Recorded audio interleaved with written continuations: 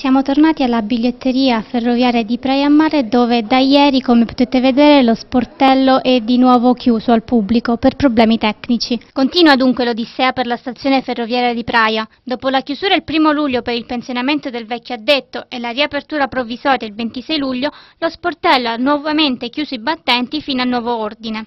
L'addetto provvisorio è tornato a prestare servizio a Castiglione Cosentino, stazione affollata d'inverno soprattutto dagli studenti che si recano all'Università di Rende.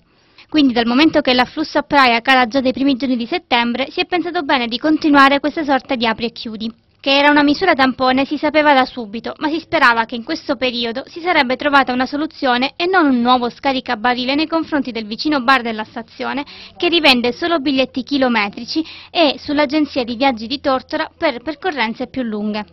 La sostituzione doveva durare per il solo mese di agosto, dopodiché i vertici regionali di Trenitalia avrebbero dovuto provvedere a una soluzione definitiva, cosa che effettivamente non è avvenuta.